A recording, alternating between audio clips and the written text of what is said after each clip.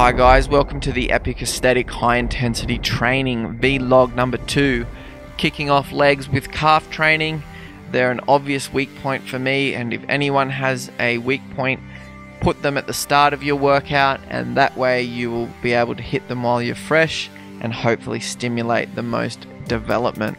I'm doing a superset between seated calf raise 8 to 15 reps and standing calf raise 8 to 15 reps using a 4 2 4 cadence, which as you can see is slow and controlled and has a 2 second static hold at the top of each and every rep.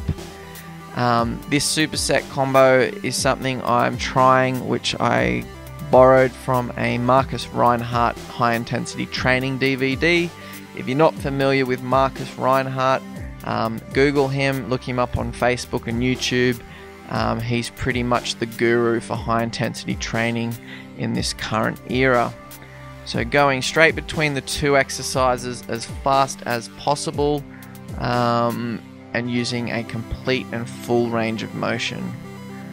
So, I'm hoping that in the next few months you'll see my reps and weight tick up steadily, and that should precede an increase in size for my lagging calf muscles.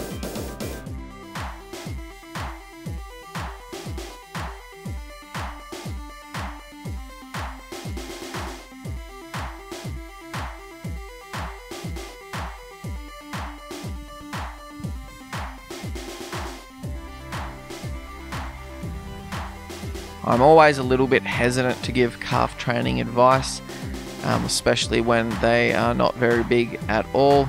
But it seems to be a common problem for a lot of people to develop their calves. So, whether it's a case of my genetic limitations or just my work ethic over the years, um, I'm not really sure. But I'm starting to put them first, give it my all, and I'm hoping for some progress. Okay, the third exercise is the leg extension. Um, I'm doing leg extensions before my compound movements for legs in order to pre fatigue the quads um, because they're often the lagging body part um, for me. So, again, although they're after calves, they're essentially first in the rest of my leg routine so that I can encourage them to grow at the same pace as my hamstrings. Um, what you're seeing here is what's called negative training.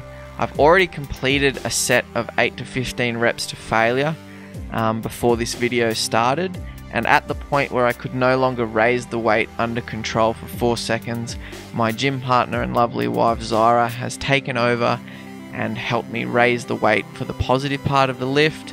I hold it for 2 seconds at the top and then I lower for 4 seconds under control until I'm no longer able to execute the static and negative um, with correct form.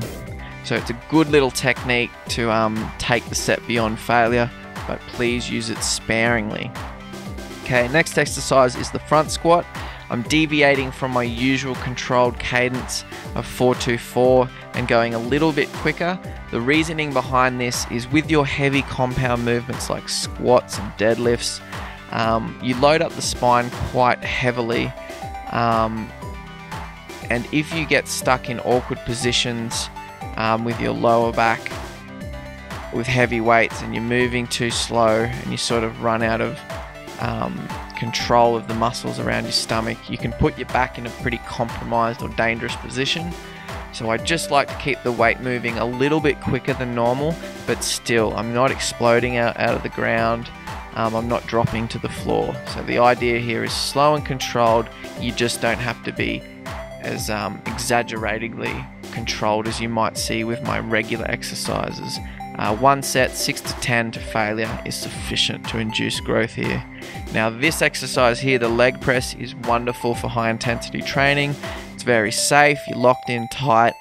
Um, 424 with the form, so go ultra slow here and really take advantage of the, uh, the safety of a machine. Although, don't assume they're absolutely safe, you can still uh, hurt your lower back here if you retract your legs too far and bend up at the lumbar region but under control, lower the weight for 4 seconds, push the weight back up for 4 seconds, and what this will do is absolutely kill momentum in the lift And if you've never done leg press like this before with a slow form, um, you're going to be introduced to a world of extreme pain. As you can see from my rather awkward, distasteful facial expressions and head movements, I'm not having a fun time whatsoever. But such is the case with gym training. When you're not having a fun time, you're often going to induce the best gains. So, really, just try this if you've never done it before, and I um, guarantee that a slow form on the leg press um, will make your quads absolutely scream. You'll have difficulty driving afterwards, and you will hate stairs. So, one set to failure, 8 to 15 reps, should be sufficient to see you grow. I don't use intensity techniques with these exercises because the load on the spine um, can be dangerous and um, you don't want to be trying to go beyond failure um, when your back's in a compromised position. Okay, here is the seated ham curl. Um, unfortunately, this week I did not put enough weight um, for the exercise and I ended up failing around the sort of 25 rep mark. Again, that's not really going to help induce a whole lot of growth with reps that high. It's just not enough stress on the muscle. So next week I need to up the weights and try and fail in that 8 to 15 rep range as I've prescribed. But just noting the technique here, pulling it down for 4 seconds, holding it for 2 seconds, and really squeezing that hamstring muscle in the contracted position, and then let the legs go up for 4 seconds so that the hamstring is in full control and you're never letting momentum or gravity take away from stressing your muscle and inducing growth. Okay, the video is at an end. Often I'll do some abs at the end of this, but I don't see the need to film them every week, but I will from time to time. So please like and share my video. Make sure you subscribe, and if you have any questions, please comment.